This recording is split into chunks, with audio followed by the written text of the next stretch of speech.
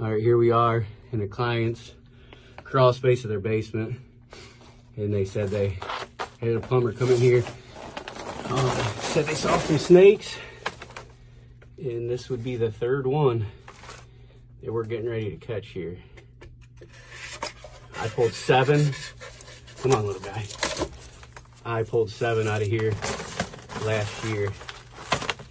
He is not happy. Let's get him out of here and release him.